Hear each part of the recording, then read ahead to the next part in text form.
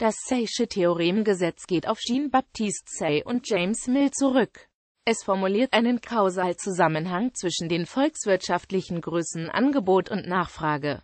Das Theorem zählt zu den klassischen bzw. neoklassischen Theoremen und ist ein entscheidender Baustein zum Verständnis der modernen angebotsorientierten Wirtschaftspolitik. Das Theorem in der klassischen Darstellung.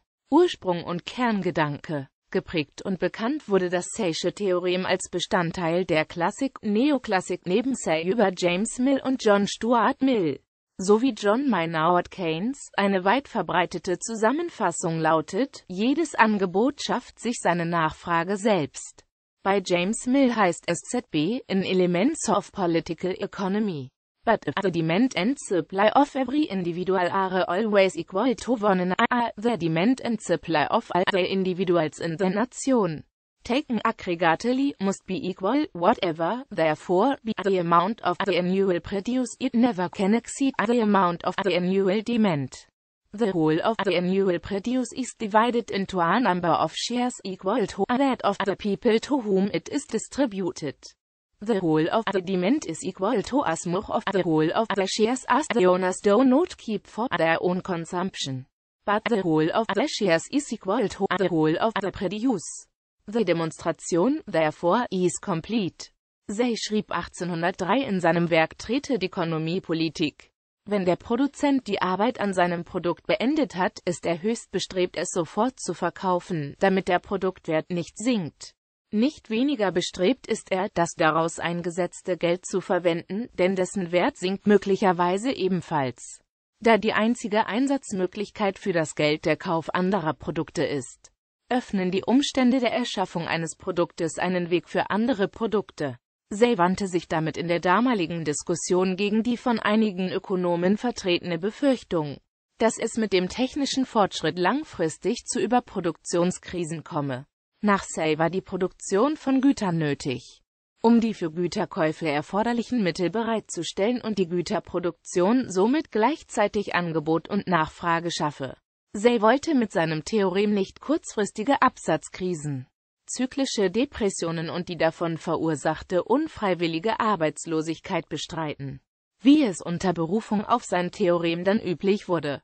Diese Sicht von Say wurde von den Neoklassikern später auch auf Aspekte wie relative Preise und Arbeitslosigkeit übertragen.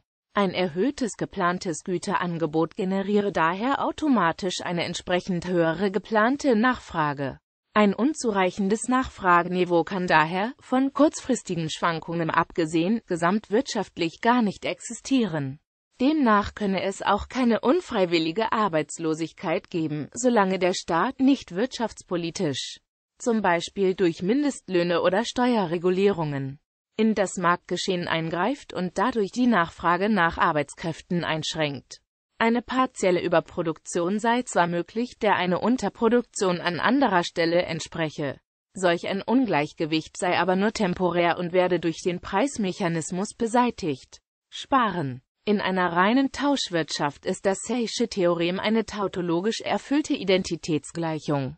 In einer mehrperiodigen Geldwirtschaft kann das Theorem aber über einen Teilzeitraum keine tautologische Gültigkeit für sich in Anspruch nehmen, weil die Menschen dann auch die Möglichkeit haben, Geld zu horten oder zu sparen, ohne das Ziel zu haben, selbst damit Güter zum aktuellen Zeitpunkt zu kaufen. Jede Produktion schafft zwar Einkommen in genau der Höhe dieser Produkten, so dass die produzierten Güter mit diesem Einkommen nachgefragt werden können, aber Produktion und Einkommen, die während eines Booms hoch sind, können in einer Krise sehr tief sinken. Die Produktion orientiert sich immer an der Nachfrage, so dass in einer Absatzkrise Produktion und Einkommen weit unter das Produktionspotenzial fallen können. Wenn die Nachfrage unter dem Versuch leidet, aus Einnahmeüberschüssen Geldvermögen zu bilden, die Unternehmen werden dabei vermeiden, auf Lager zu produzieren, nur um das Produktionspotenzial auszulasten und die angestrebten Ersparnisse zu ermöglichen.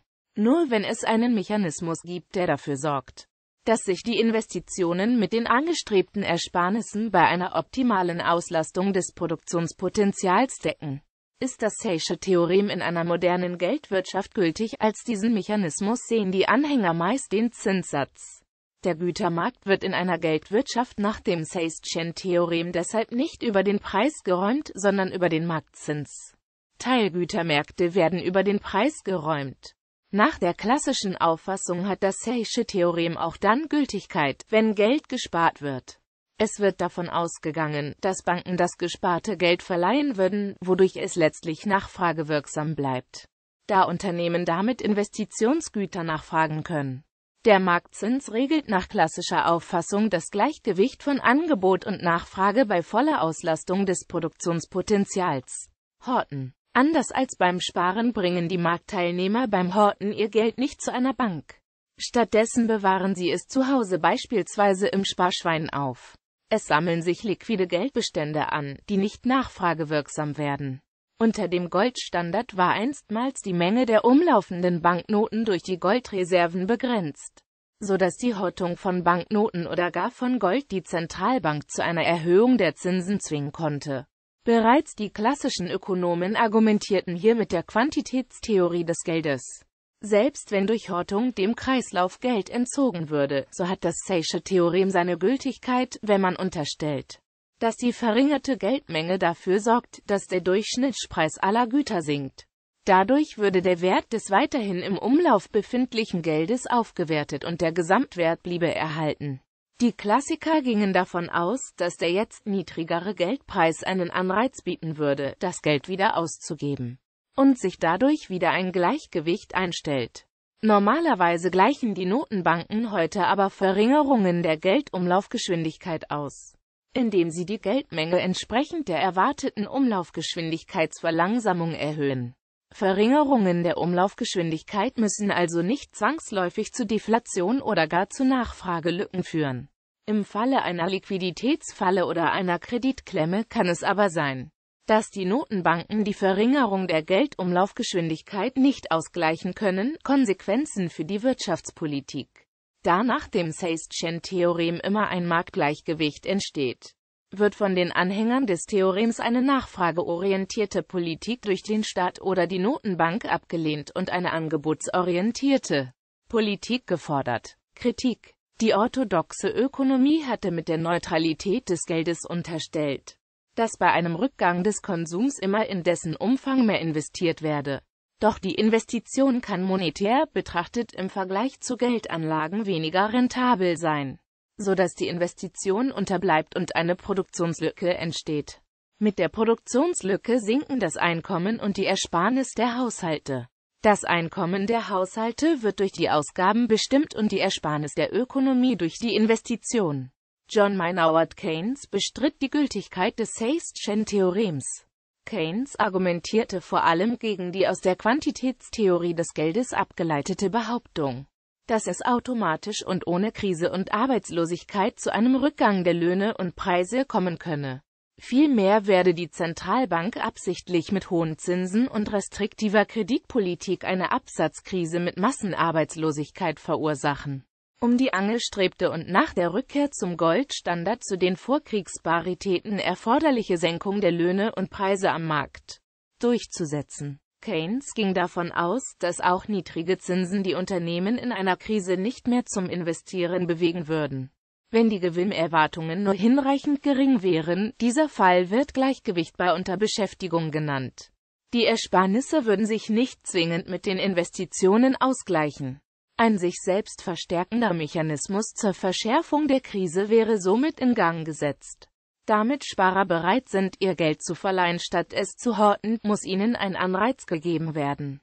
Da es auf dem Kapitalmarkt aber möglicherweise sehr wenig Kapitalnachfrager gibt und durch die geringe Geldumlaufgeschwindigkeit auch noch Deflation herrschen mag, könne es sein, dass der Marktzins nicht markträumend ist, die Geldumlaufgeschwindigkeit würde sich dadurch dann weiter verringern.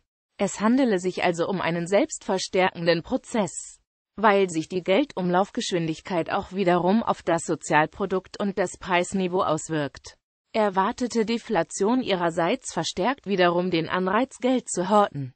Um einen markträumenden Realzinssatz zu gewährleisten, ist eine mäßige Inflationsrate also sehr hilfreich. Sie ermöglicht sogar negative Realzinsen. Bei einer konstanten Inflationsrate bleibt die Planungssicherheit für die Wirtschaftsobjekte gewährleistet. Und die Nachteile so einer mäßigen Inflation halten sich somit in Grenzen. Außerdem bestraft eine geringe Inflation Geldhortung, die ja letztendlich die Ursache jeder Nachfragelücke ist, und bietet somit einen Anreiz wenig Kasse zu halten. Auch mehrere neuere Veröffentlichungen sehen keinen Zusammenhang zwischen Sparen und Investieren. Das DIW sieht keinen Zusammenhang zwischen Sparen und Konjunktur. Karl Marx setzt sich im Zuge der Durcharbeitung der Theorie von David Ricardo auch mit dem Seyss-Chen-Theorem auseinander und bemängelt, dass Say seine Modellvoraussetzungen so gewählt habe, dass Krisen logisch unmöglich seien. Er kritisierte des Weiteren, dass Say das Kapitalverhältnis bloß als Naturaltau-Verhältnis deutet und damit die inneren Widersprüche der kapitalmäßigen Verwertungsprozesse bei Überproduktion ignoriere. Marx rechnete Says Ansatz deswegen zur Vulgärökonomie.